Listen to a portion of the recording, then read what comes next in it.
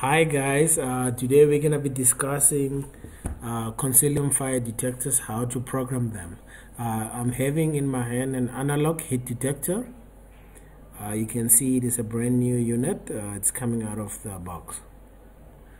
So if you look at it from the side, you will see a black wick inside, that's a heat sensor that is inside. It picks up the heat. So this is an analog heat detector. Uh, the device that we're currently looking at is a programming device. It uh, programs the addresses on the device. Those are the specs on the device. If you want to check, you can pause the video. Uh, so basically, you will have few things on the device. Uh, you will have the set button, then you'll have the incremental address uh, buttons. You will have plus one, plus 10, plus 100, then the search address. So once you set the address itself it will give you an indication on the OK button. It will give you a green indication. And once the address or the device that you're connecting is faulty it will give you an error alarm on the error button which is red. So the address will be indicated on the address panel. Okay you will have the display panel that will come on uh, with the address that is programmed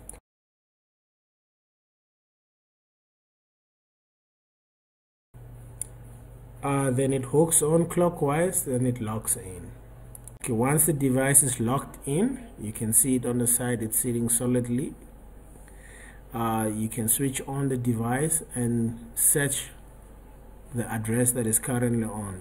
Normally when they do this they uh, when they do the test on the factory level they preset the device just to see if it's gonna load and all that. So the preset address on this device is 35 you can actually see the address that is there. So we're just gonna adjust it uh, to 55 then we're gonna set it. Once the device is set you will get the green light on the OK button.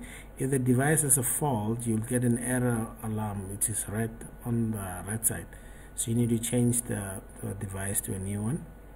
So we did the pre-search again uh, the address is still 55 so we're gonna switch it off and uh, switch it on just to see if the address that we loaded is in the device itself. So we're gonna do a search again just to make sure that the address that we loaded is preloaded in the device itself. So we're gonna press the search button. So it's gonna scan the unit itself the device. Then it's gonna give you the address on the device which is 55 so we're gonna change it again to 155 we're gonna set it. Once it's set you'll see once the device is loaded uh, the, if the address is set it's gonna give you a green OK on the OK button. So we're just gonna search it again just to make sure if the address that we loaded in the device is set.